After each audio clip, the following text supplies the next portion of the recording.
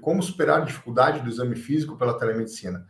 Cara, como eu falei, eu também tinha essa mesma objeção. Né? Como é que você vai superar? Primeiro, procurando estudar sobre telepropedêutica médica, tá? Existe a propedêutica médica como a gente está acostumado, mas existe uma nova propedêutica, que é a telepropedêutica médica. Eu não inventei isso, não é uma coisa da minha cabeça. Já existe artigos sobre isso, principalmente na literatura estrangeira, que é como a gente vai fazer o atendimento por telemedicina.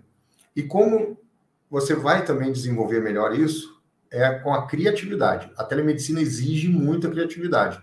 Só que depois que eu comecei a fazer telemedicina, eu comecei a ter mais criatividade para outras coisas no meu dia a dia. Né? Então a telemedicina acabou me ajudando a fazer coisas novas e diferentes no meu dia a dia e a resolver problemas. Né?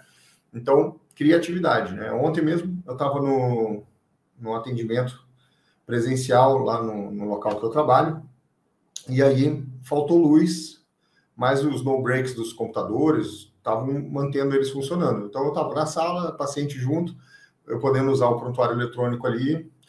Só que aí não tinha, né, como eu conversar, fazer uma anamnese ali com o paciente naquela escuridão, né, da, daquela sala que estava. Mas aí na hora eu falei, pô, quer saber? Vou lá fora, né, no corredor, tem aqueles, aquelas luzes de emergência. Aí eu fui lá, verifiquei que não tinha, não estava presa, né, fixa na parede, ela estava só apoiada por parafuso ali, e eu desencaixei ela e levei para minha sala. Aí eu fiz a luz aparecer na minha sala. Mas eu tenho certeza que eu tive esse, esse pensamento rápido, porque eu comecei a desenvolver é, maneiras de resolver problemas mais rapidamente, criatividade. E na telemedicina, para você fazer o exame físico, o que, que é o exame físico? É a coleta de sinais, certo? Objetivos. Você precisa criatividade. Alguém vai me falar, tá, mas e a ausculta, né? Ok, existem limitações. Essas limitações, elas são ainda, tá? Porque já existe estetoscópio eletrônico, mas não é popular ainda, tá? É, mas é o ainda, mas existe. Existe é, equipamentos que você pode, né, que o paciente tem em casa, muitas vezes. É, até eu vou pegar aqui. Hoje em dia, eu levo aqui, tem um na minha mochilinha aqui que eu, eu faço atendimento domiciliar também, né? Então eu levo. Mas hoje em dia, vários pacientes têm isso aqui em casa. Um aparelho de pressão, tá?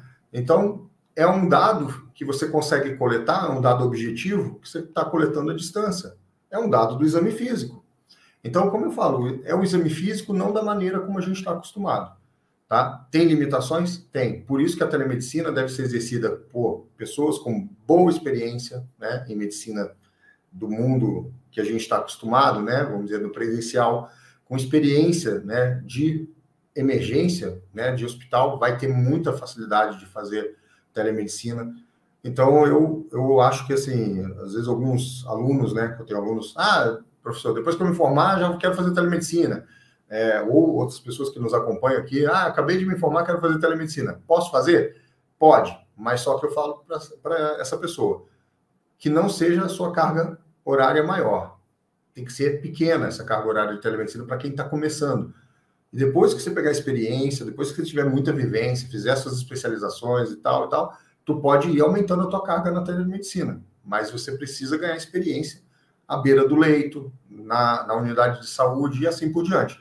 Então, essa experiência tá, vai te trazer mais segurança nessas questões relacionadas ao exame físico. Ah, então existe uma maneira de fazer um exame físico à distância só que, claro, com limitações. Então, como eu falei, né, a razão de eu estar dividindo isso aqui é porque eu acredito que a telemedicina é uma ferramenta que ela chegou mesmo para ficar, é ajudar os médicos também e os pacientes. E também pode ser útil para o sistema de saúde como um todo, tá? Então, o meu objetivo é mostrar aí um novo caminho, né? E cheio de oportunidades que eu tenho visto aí para médicos. Algumas especialidades, então, eu às vezes eu falo, nossa, por que, que eu não fui fazer psiquiatria, né? Se eu soubesse que quando eu me formei que ia ter telemedicina, a psiquiatria ela é ótima, né? Para o uso da telemedicina, né? Ou, na verdade, a telemedicina é ótima para ser usado na psiquiatria, tá?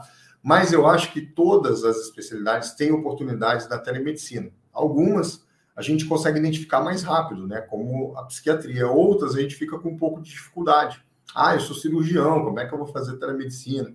Né? Mas tenha certeza que tem como você introduzir a telemedicina de maneira correta aí na sua especialidade e que vai ser muito útil para os seus pacientes e para as pessoas que, que te acompanham. Teve uma live que eu achei muito interessante, eu fiquei muito feliz com isso, né? Não é, é gabar-se disso, mas é, é a alegria que eu tive quando uma aluna né, do curso de formação telemedicina na prática falou que estava fazendo atendimentos de telemedicina, de teleinterconsulta médica, né? Pelo, por tudo que ela aprendeu do curso, ela pôde fazer a telemedicina, ela conseguiu fazer introduzir a telemedicina no dia a dia dela, e ela foi me contando né, o quanto ela está ajudando pessoas do interior, lá do, do, do Nordeste, que é um, um, uma equipe que atende né, essas, essa, esse tipo de situação, de pacientes com diabetes, que precisam de uma avaliação também do, do médico endocrinologista, e, e não tem na região deles. É longe, né, não tem acesso, e aí, com a telemedicina, eles estão levando esse especialista mais próximo dos pacientes. Então, ela faz uma consulta de teleinterconsulta junto com o médico da atenção primária do município e o paciente presente, e ela, ela, ela pode, assim, né, ajustar a dose de medicamentos, acompanhar esses pacientes diabéticos, e assim, então, tratando melhor esses pacientes, mantendo eles aí com a diabetes controlada, e acaba que você é, diminui aí o risco dessas complicações, internações, amputações, entre outras coisas. E aquilo me, me fez tão bem, porque eu me senti participando diretamente do atendimento daquele paciente que ela estava fazendo, porque ela aprendeu comigo. Isso daí que me move, sabe? É de poder contribuir né, com esse tipo de situação.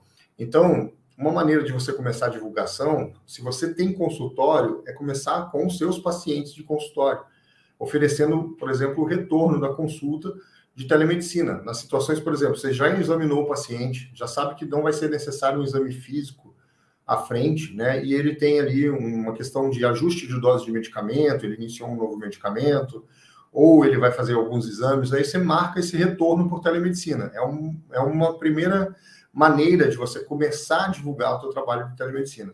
E foi assim que eu comecei, com os meus pacientes de consultório. Se você não tem consultório e deseja atender né, pacientes por telemedicina, você pode começar a, a divulgar entre as pessoas que são do seu círculo, né? Sua família, seus parentes, né? É, começa também, se você tem redes sociais, falar sobre telemedicina, aí as pessoas vão saber que você está fazendo telemedicina. Então, você pode, dessa maneira, é, ir fazendo a sua divulgação, tá?